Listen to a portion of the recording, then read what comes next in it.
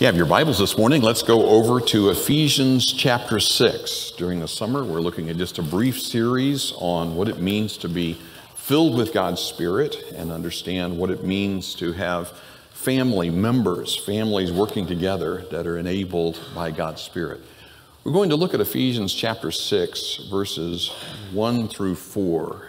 And as we think about this passage today, I believe that we will find it a great encouragement to see what the Lord can do in all of our families. Shall we pray together?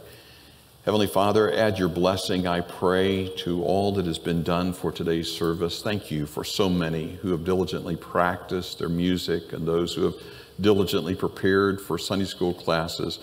I ask, dear Heavenly Father, your blessing upon all of us today as we celebrate and this evening celebrate our Lord's table. And we pray these things in Jesus' name. Amen. In the last message from this text, we talked about the failure in 1928 of the St. Francis Dam. Terrible collapse, taking well more than 400 lives. And that raised for us a number of questions that all of us want to examine, especially when we're thinking about our families. What caused the collapse of this dam? In California? And the answer we discovered was that it had a very poor support system, that is, a very poor foundation, and a very poor support system in the surrounding hills. Those were what gave way that ultimately led to the collapse of that dam. It is really helpful to use that particular illustration and illustrations like it, as we'll see today, two more illustrations of very dangerous areas in the world that are, that are holding back immense amounts of water. When you stop to think about the pressures that those dams face, and you think about the pressures that are on our families today, we begin to see a number of similarities. If we really want today to say, look, I'd really like to, to get into the foundation and the support, I'd, I'd really like to understand it. What I'd really like to understand is me. I'd like to understand my family. What we find in the Word of God, Hebrews chapter 4 and verse 12, it tells us that the Word of God is a discerner. That is, it understands the thoughts and the intents of our heart. It looks, it looks deeply within us. One of the modern marvels of engineering today is what's called ground penetrating radar. This is an amazing device. There are several different instruments that people can use. One of the largest looks like a lawnmower that an engineer will push along, as you can see there on the screen. It has a transmitter that sends out an electromagnetic wave. It's really a microwave that it's firing into the ground. And then it has a receiver to get the bounce back to look at what did it, what did it see down there. And this is used to locate graves. It's used to locate boundary pins. It's used to locate utilities, as you can see. Wouldn't it be great if there were like a GPR for the soul and a, a GPR for the family? Wouldn't it be great if we had something that can look deeply within our souls? But, dear friend, that is exactly what we have with the Word of God. It is a ground penetrating radar. Just as the GPR can penetrate the soil, so our Bibles can penetrate our souls. They can show us that God really does see what's inside of us. And ultimately, that becomes very, very helpful to us. As the psalmist said in Psalm 139 Search me, O God, and know my heart. Try me, know my thoughts. See if there be any wicked way in me, and lead me in the way everlasting. So, with that in mind, I'd like to just point out today that the passage we're going to look at really reads almost like a GPR for our families. It reads like ground penetrating radar only in this case, it is specifically for our souls. Notice, if you will, then in Ephesians chapter 6, verses 1 through 4, that we find these words Children, obey your parents. Don't miss the words here in the Lord. For this is right. Honor thy father and mother, which is the first commandment with promise that it may be well with you, and that you may live long on the earth. And, ye fathers, provoke not your children to wrath, but bring them up in the nurture and admonition. And again, notice the words here of the Lord. He is specifically talking here about this is done in the power of God's Spirit. It is of the Lord. Children, obey your parents in the Lord. Fathers, parents, raise your children up in the admonition of the Lord. Do you get the idea that this cannot be done without the Lord?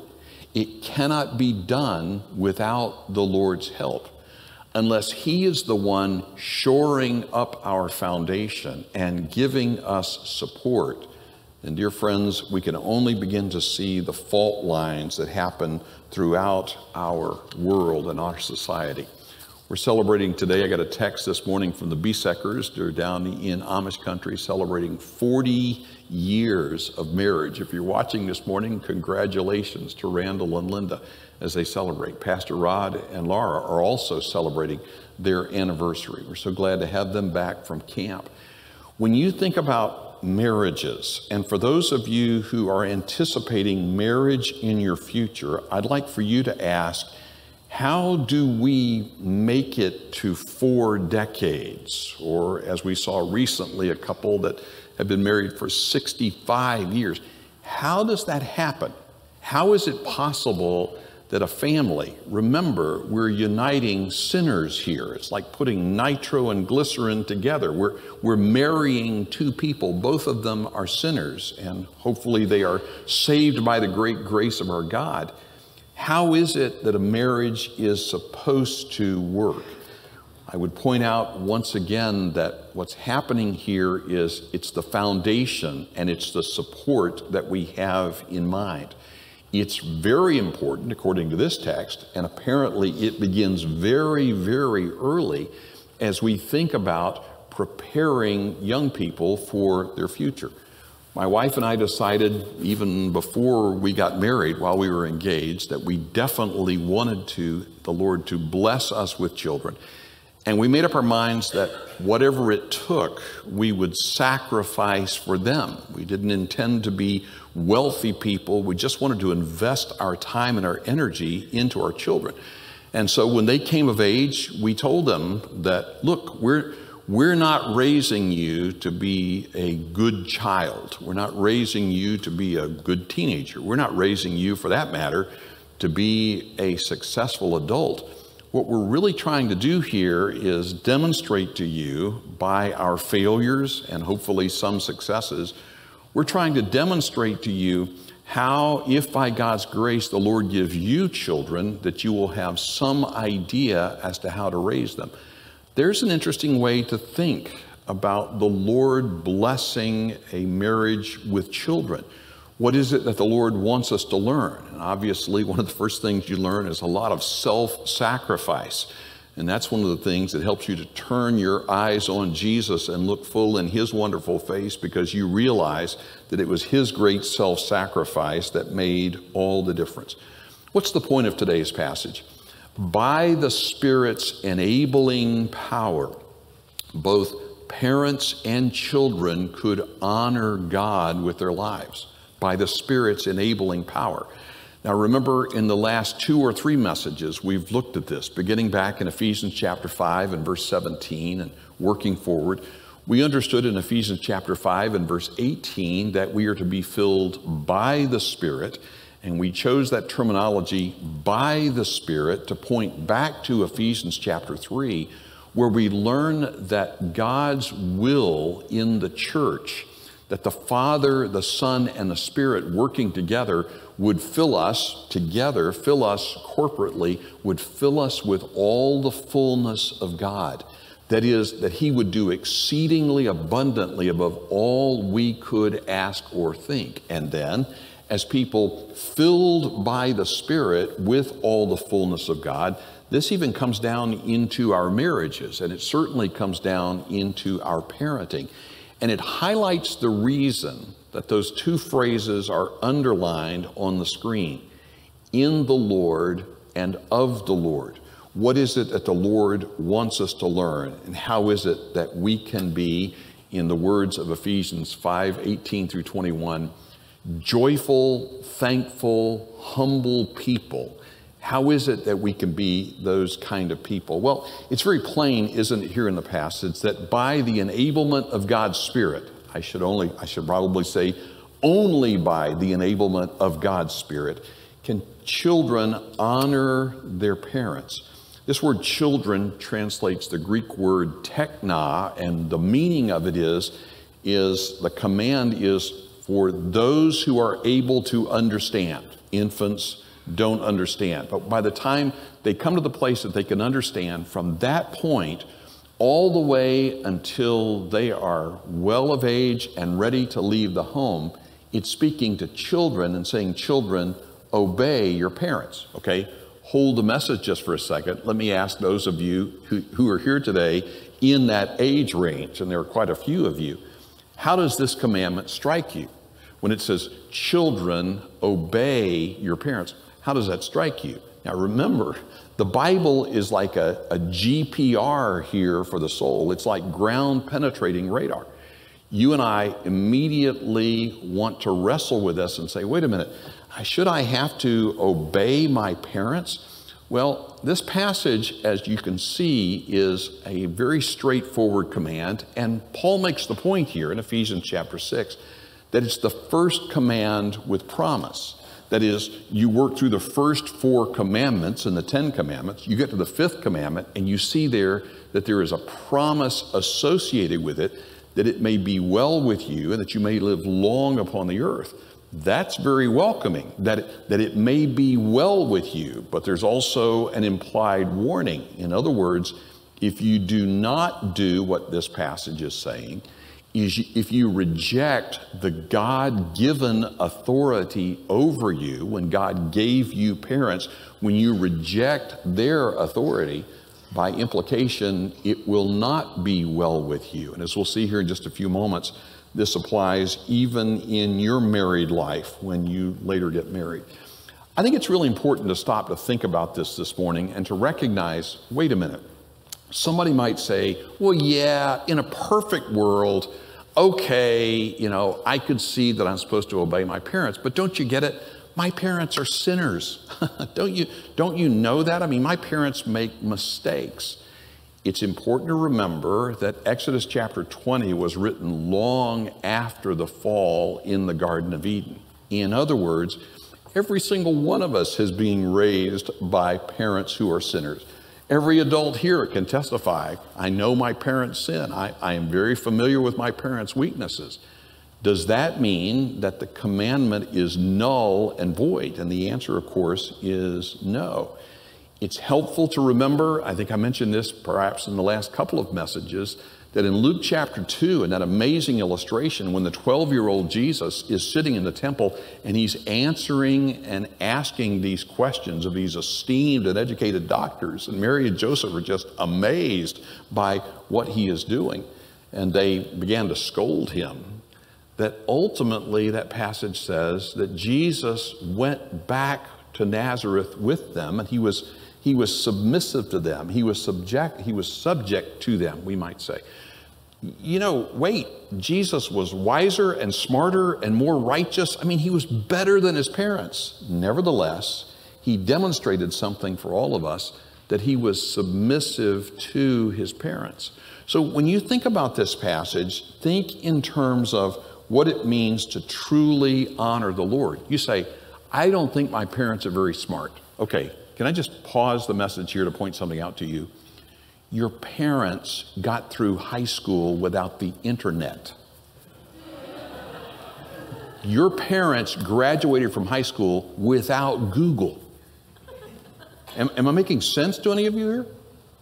I mean, your parents, in order to do what you do now with a click of a button, your parents had to go to something called a library. Are you familiar with those? In order to do the kind of research you do now with one click of the button, they had to go into the periodical room. They had to look for these huge green bound volumes. Can you tell I used to work in the library?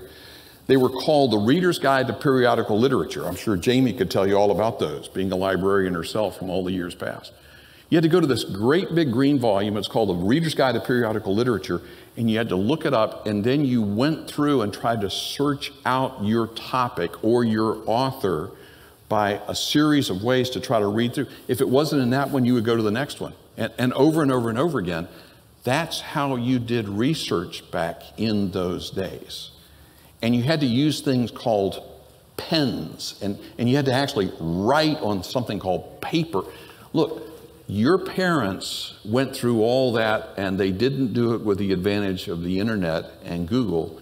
Give them some credit for the fact that they diligently applied themselves to the task and actually graduated from high school. Some of them graduated from college without using the internet or Google. So remember, they really do understand on some level, they understand the kind of frustration and the kind of trials that you are going through. As I preach on this this morning, I am sure there are a number of adults in the room who are reflecting on Ephesians 6, 1 through 3, and saying, I have to tell you, I, I can think of many mistakes I made in the way that I refused to obey my parents.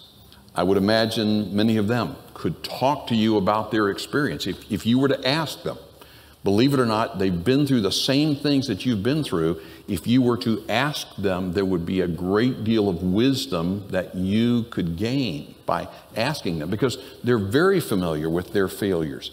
They're very familiar with how they had to humble themselves and go to their parents and say, Look, I, I really blew it. I mean, I was really wrong there is a fountain of wisdom that can be gained, and believe it or not, they really do understand you. It's been a while since I used this illustration, but I distinctly remember when I was a teenager, I really did not think my mom understood the raging evil desires that were in my heart. And, and I didn't think she had a clue. I mean, she was raised in uh, part of the country, lower Alabama, as I like to say, LA, down in uh, southeast Alabama or southwest Alabama. And uh, I just didn't think she got it. I didn't think she really understood it. And my mom said to me, she said, okay, let me, let me help you to understand that I really do understand it. She said, I was 15 years of age and I was invited out for my first date. And she said, I got all dressed up and I was really just thinking, wow, it's a date. And it was a double date. So her parents said, it's okay, you can go on a double date. She said, Son, we got into that car and we pulled out and we pulled up to a vacant house, and the couple in the back seat got out. And they spent about 45 minutes inside that vacant house, and then they came back out. And she said, And I realized, you know, I was just part of a decoy. And she looked at me and said, Do you get it? Inside, I was thinking, Mom, I get it. I do understand. Here's what you would find out if you were to ask your parents and they felt the liberty to be transparent with you. They would really help you to understand their struggles, their own failures, the times that they disobeyed the, their parents and regretted it, and how ultimately they went back and really tried to make those things right with them. Just a word of advice, especially from this passage, as for those of you who are anticipating or you would like to see that you would like to get married. Number one, pay really close attention to how your romantic interest treats his or her parents. Pay very close attention to what they say about them and how, how they react to them even when they're not in the room or in the, in the location where you are. Because one of the things that will happen is you need to know they will be saying the same things about you if you marry them. So pay close attention to the respect they show. Point number two, bear in mind that the person you're really looking for is the person that you really want to disciple your children. I can still remember teaching in a seminary class as I made this point, and some of the young men were sitting there with their fiancés. And I said, Sir, do you understand this? Ma'am, do you understand this? The person you are choosing to marry, you're asking the Lord, Lord, help this person who will disciple my children with the recognition they will be just like them. I will never forget some of the big eyes that I saw. Some of those young men went, Whoa. There's a different way to think about marriage. It is a different way to think about marriage. But when you begin to tie all this together and you think about how families are supposed to work, you recognize there really has to be a very good foundation and a very good support system. As you and I both know, there are all kinds of difficulties that we are wrestling with today, but here's how it works in the power of God's Spirit, in the Lord, that parents can understand and can actually teach their children. Children, you could be like Jesus. Jesus was smarter, wiser, better, more righteous, and yet Jesus obeyed his parents. You could do the same thing and understand that it is God's promise that it would be well with you and that you would live long on the earth. This is a tremendous promise that God is giving to all those who would truly honor their parents. But as you well know, there are all sorts of fault lines that are running underneath our society, even as we speak this morning. Families are being shredded in our society.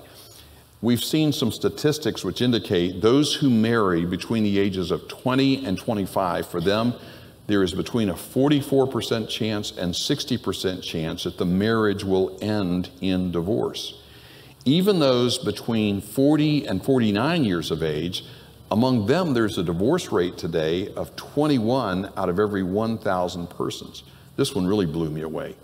The average, the average length of a marriage in the United States right now is slightly over eight years. Oh, wait a minute. Now we're asking that question. How did the Bieseckers make it to 40 years?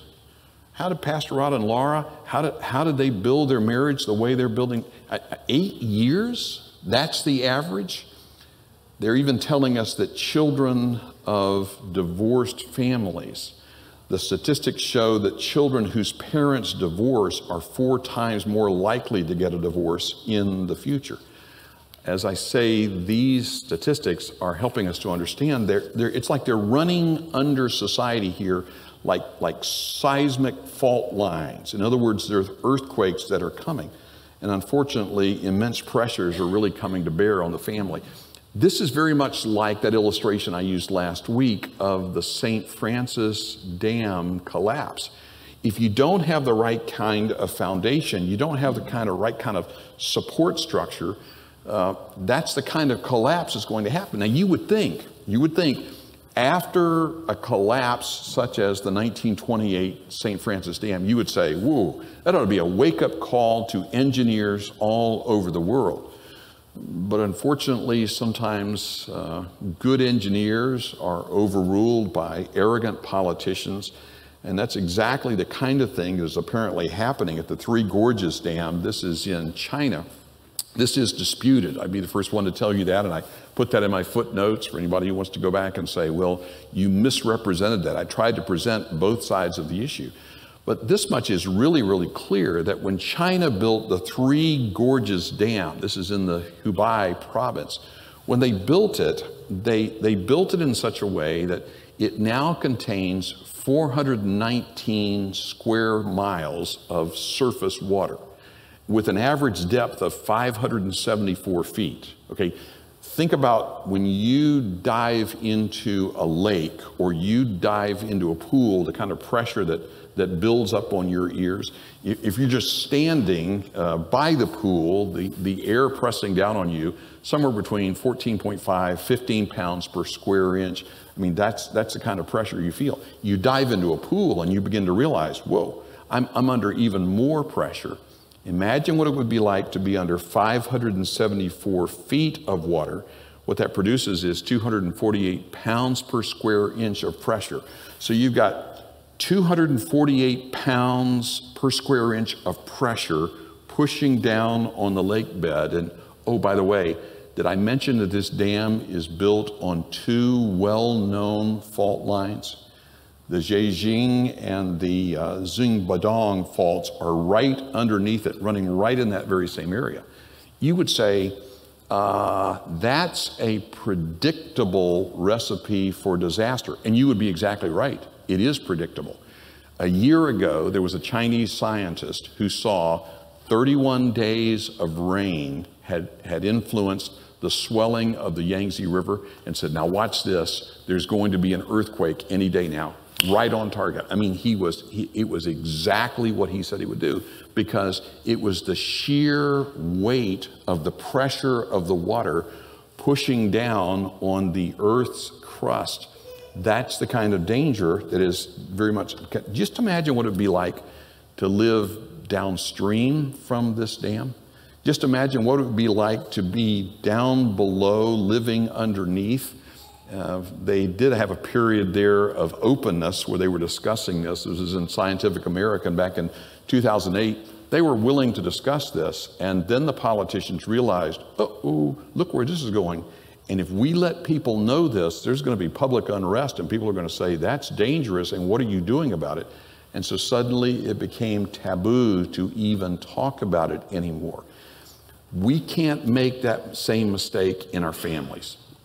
We can't get to the place where there's certain unmentionables and don't mention that particular area because you know that if, if that comes up or that area comes up, that, oh, oh I mean, we're going to have an earthquake here, we're going to have a problem. So nobody mentions, folks, we can't just ignore the problems. What we've got to do is ask for the Lord's help in getting into the problem, to getting to the bottom of the problem, to finding out what God's grace can do to shore up the problem, if you will. Because the fault lines in our society are just as real as those fault lines under the Three Gorges Dam. The second part of this passage that we're looking at here is in Ephesians chapter 6 and verse 4. And notice there what we find it says, and you fathers, do not provoke your children to wrath. The idea seems there to be do not provoke your children to sinful anger, but bring them up in the nurture and admonition of the Lord.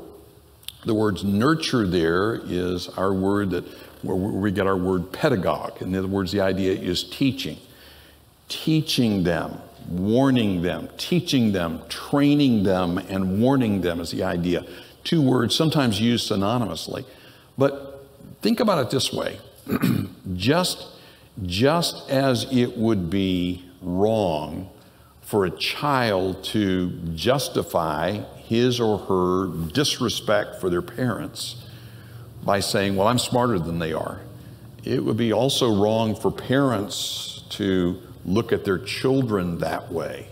In other words, when they see sinful reactions out of their children, does that justify their sinful reaction back to them? In this case, fathers provoking children to wrath. Of course, the answer is no. As soon as you get into that game, as soon as somebody causes you pain and you think to yourself, I'm going to show you just how bad that hurt me, I'm going to give it right back to you. In fact, I'll add a little something extra. I'll add a little bitty extra dollop just so you'll never, ever, ever, ever, ever do that to me again. How does that work? And the answer is it doesn't work at all. It, it, it's one of the most ridiculous things. I mean, I have, I have been in counseling situations where there was like a nuclear proliferation, where, where, I mean, the anger that broke out as people are intent on causing each other pain, they didn't even remember what the original issue was, folks. There has to be a better way. There has to be a way to be what we want each other to become. Or if you don't like that terminology, then become what we want each other to be. There, there has to be a way for you and me to say, no, I really do want to honor the Lord here. And so, in the very same way, this passage is talking to us about the nurture and admonition of the Lord. It is not true, the standard uh, joke, I hope it is, that you'll hear a lot of people say. Dad says to his children, I brought you into this world, and if you mess up, I can take you out. Well, no, you can't, not without going to prison. I mean, that's, that's a ridiculous way to think about your control and your power over the situation. And really, what it's doing is it's failing to highlight the fact that every one of us is in an authority relationship. Every one of us has been authorized, as parents, we have been authorized by the Lord to do what we are doing. When your child rejects your authority, they're really rejecting the Lord's authority. What did the Lord say? The Lord said, Vengeance is mine, I will repay, saith the Lord. In other words, you don't take matters into your own hands merely just to try to cause them greater and greater pain. This passage is especially addressed to dads. And so, dads, let me just preach to you here for a minute. Do you realize that your anger and your impatience and your hypocrisy, do you understand that's what irritates and angers your children? Do you understand that? I would imagine every dad here in the room inside is saying, Amen and oh me. I mean, that is exactly the case. Now, when you think about that, ask yourself, well, what's the answer here? Then that I've, you know, I, I've messed up. I mean, there's times when I certainly have been sinfully angry or hypocritical, or I've hurt my children by my sinful responses. Is that it? I mean, is, is it like done, done? I mean, there's just no answer there. Uh, many years ago, uh, while our children, some of our children were still at home and some of them were back from college, I just asked them this question. We're having some kind of a family meeting, and I said, Kids, I want to ask you a question. Have you ever seen your dad get sinfully angry? And their humbling response was, Oh, yeah, lots of times. Yep, that's, that was me. And I said to them, I agree with you. I, I have lost it. I have not honored the Lord in front of you. There have been times when I've gotten sinfully angry. I do want to ask you one question. They said, Sure. I said, When was the last time you saw that happen? And that's when they, they kind of looked at each other and said, Whoa, Dad, that's been a while since I've seen you do that. I said, Here's all I want you to know. This is all I want you to know. When you also wrestle with that sinful anger, you know someone who had some degree of victory. You know someone who changed. And if you ever want to talk to somebody who can help you, I'll tell you and show you everything I've been learning from the scripture. It wasn't three weeks. And one of my children contacted me and said, I need that. I, I, I need a better understanding of that. Parents, look at your failures this way. How does a jeweler demonstrate the most beautiful gems in his or her shop? What they do is they put them on black velvet and then they shine a brilliant light on them. That's you. And, and that black velvet, that's your background. In other words, your kids know and, and they've seen it when you have messed up, when, when you really have not honored the Lord. But here is the amazing power of grace. Romans 5:20 says, "Where sin abounded, grace did much more abound." We could show them the sparkling facets of God's grace against a dark background and they could watch somebody change. This is the big issue that our society is wrestling with. It's like this drum beat. You just can't change. You just can't change. Well, what if in your home, your children could see that somebody does change? Oh, you suddenly realize wait a minute, I'm in the middle of a living laboratory here. I have the opportunity to demonstrate to my children just what the Lord could really do. It's that kind of illustration that causes every one of us to say, Lord, help me. I, have got to know what this passage is talking about. I've got to know how I could truly honor the Lord. Across the years, a number of men have actually said to me, I wish I could take that kid out and back of the shed and I just wish I could just beat some sense into him. My routine response. Some of you here in the room can testify that I said this. Yeah, here's the problem your arms aren't that long. Your, your arms are not long enough to reach the idols of their heart. You, you could not bring about heart change by bruising them. All you do really is make them more angry at you. But here's the beauty of it you hold in your hands the GPR, you hold in your hands the Bible that is a discerner of the thoughts and intents of the heart. That's what you really want here. And instead of making them angry, you want to raise them up in the nurture and admonition of the Lord. That word nurture, as I said, is, is the word paideia. It's where we get our word pedagogue. Admonition is the idea of warning them. It, it really comes down to saying what you mean and meaning what you say. It, it really comes down to being what you want them to become or becoming what you want them to be. And by the way, it also implies that you are showing them as well as telling them. It, it won't work to, to say, well, don't do as I do, do as I say do. It, it won't work. In other words, it, it short circuits a verse like this. What you're really looking at here is that people can really say, wait a minute, I've got to go get along with the Lord, and I've got to have the, the power of the Holy Spirit in the Lord, of the Lord. I've got to have the power of God's Holy Spirit changing me, working in me, so that I could really be a God honoring parent to my children, so that they could see the Lord Jesus Christ even in me, even in our home, even here in our living laboratory. And I really think this is the point that by God's enabling spirit, parents and children could learn what it means to truly honor God. Because, as you know, we desperately need to strengthen the, the foundation and the support, just as we saw with the St. Francis Dam.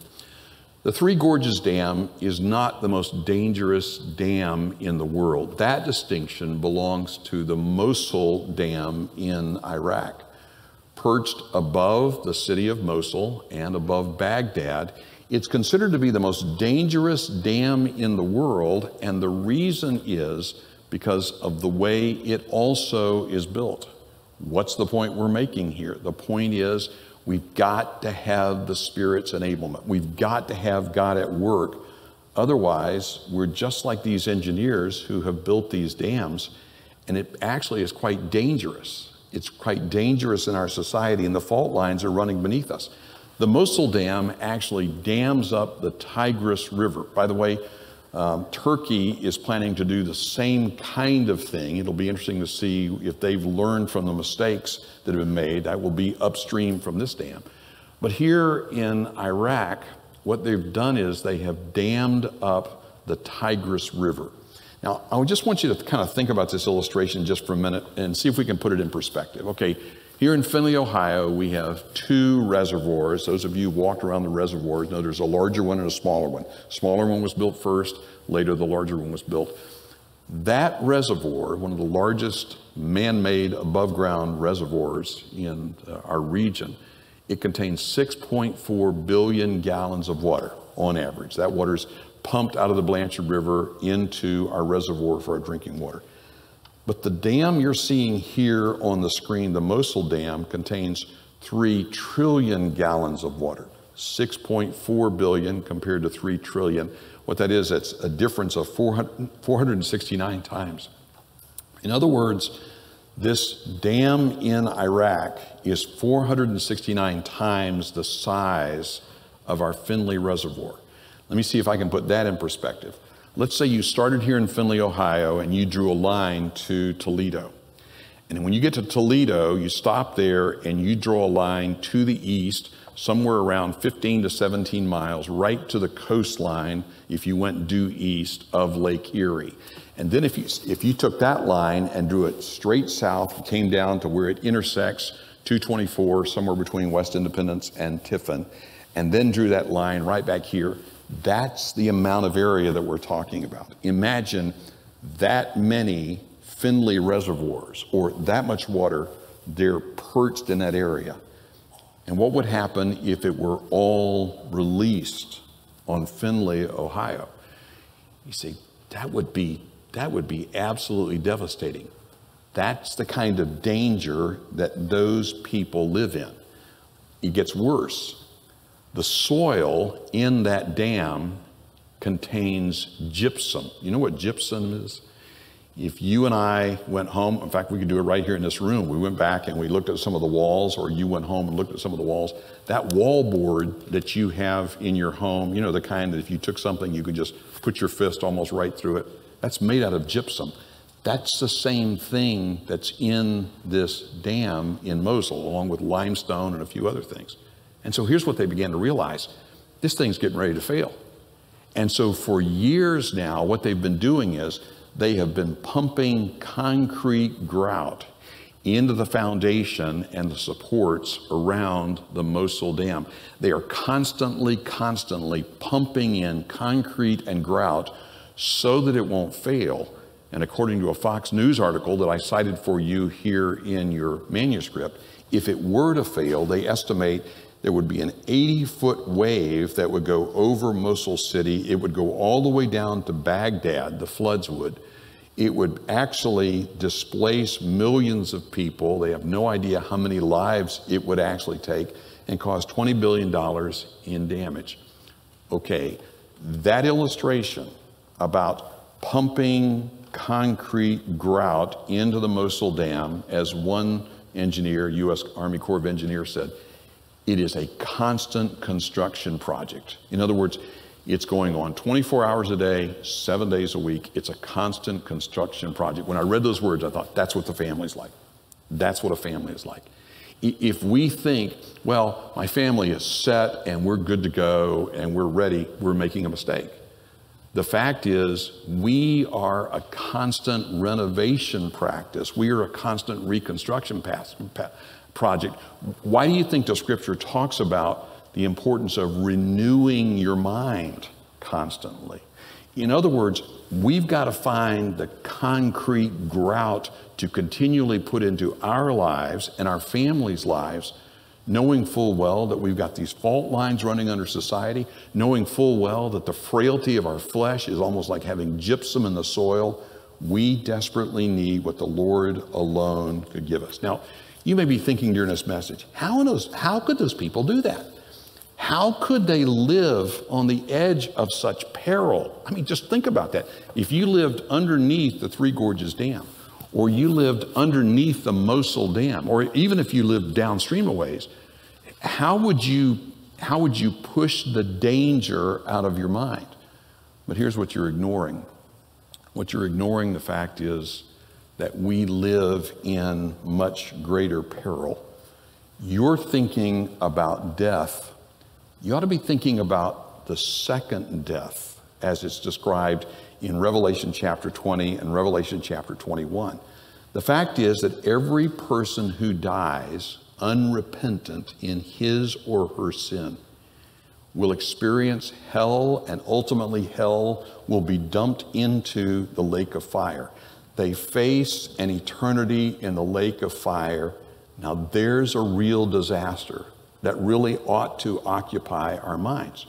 You say, those people, they're, it's like they're just trudging around on the cusp of danger. I would say to you that we also are trudging around on the cusp of eternity, and there is a much greater danger. If you take your Bibles, go over to Romans chapter 2, and I want to illustrate this with a final illustration that I think makes the matter very, very plain. Look, if you will, at Romans chapter 2, and notice in verses 4 and 5, here's the idea that you have there that I think we could illustrate by these illustrations about dams. It tells you in Romans chapter 2 that the goodness of God leads you to repentance. The goodness of God leads you to repentance. Think about what that means for a moment. That means that God, in His goodness and kindness, has been responding to you in exactly the same way that He wants you to turn and respond to Him when you repent. The goodness of God leads you to repentance. This informs our parenting. What if our children disobey and are disrespectful? Remember, the goodness of God leads us to repentance. You might be a child here today and say, Well, my parents have been sinfully angry. My parents haven't really honored the Lord. All right? Then you demonstrate to them that the goodness of God leads them to repentance. Because the next verse is terrifying. The next verse says that if we do not repent, we are treasuring up to ourselves wrath against the day of wrath and the righteous judgment of God. Think of it this way every single day, rain comes down and it waters the plants that bless you and me. We, we get our food from that rain that comes down and blesses those plants, and they bless us. Well, what if you took that very same rain and you pent it up in the, Yangtze River or in the Tigris River and it were there as a looming disaster, that's an illustration to ponder. When you think about the fact that for those who do not repent, the wrath of God is looming, it is impending. They are in very great danger. This shows you why Jesus Christ came to this earth. Jesus Christ came into our disaster area, if you will, as a disaster engineer, knowing our frailty, knowing that our lives were like gypsum in a Mosul dam, knowing that our lives were like the Three Gorges Dam with fault lines running underneath it, Jesus Christ came as a wonderful engineer. And what did he do? He died for our sins on that cross. He was buried. He rose again the third day to demonstrate to us that we could trust him and we need no longer fear death. And what's he doing now? Every single day, by his grace, he is making that concrete grouting, if you will, available to all of us. In other words, if we're sitting here today and we're very conscious of our failures, I mean, we're thinking about the fact that, wait a minute, our, the dam could break any moment now. I, I, have done such ridiculous things. I have really messed up. I mean, I've got problems in my marriage. I've got problems in my family. I mean, this thing could just break loose. And this means could devastate our family members and friends. If you understand that, then here's what you need to understand Jesus Christ died for our sins. He was buried. He rose again the third day to demonstrate his victory for us. And now here's what he's doing He is giving us his grace like concrete grouting in a gypsum dam. He is giving us his grace. And this is why you hear us talk so much about grace. It is only by his great grace that we live and move and have our being and thrive. And what are we really talking about here today? We're talking about the fact that it's in the Lord and of the Lord. Would you not agree with me when we say, What a friend we have in Jesus? That's exactly right. The, the wonderful Lord Jesus, who sent us his Spirit, could give us what we need to be spirit filled parents and spirit filled children. May we, knowing the fractures, knowing the failures in ourselves and in our families, may we not say, Oh, blessed Holy Spirit, take control, do what I cannot do, and help me and my children to truly honor God. Shall we bow our heads together? Friend, I don't know who the Lord is speaking to specifically in this series, but I've been very burdened just to pray and to think through how the Lord is at work in families. I beg of you, there are people in our congregation who could help you if you're struggling with some of the very things that we're talking about here. There are those who are ready to help, those who are ready to show you God's amazing grace, and most especially the grace of God in salvation. Jesus Christ really is like a wonderful engineer who came to this earth into our disaster field. Let him take control and show you his wonderful, enabling ways. Lord, thank you for what you've shown us today. Thank you for helping us to understand the fault lines that run through society and that run through our own lives. Like so many other parents, I believe that I speak for many parents here today and grandparents who are saying, Oh, Lord, help me. Help me to be an example. Help me to be what I want my children and grandchildren to become. Enable us, we pray. And Father, by your Spirit, I pray that you would help our young people to understand that it really is right and God honoring for them to obey and honor their parents. And Father, we pray these things in Jesus' name. Amen.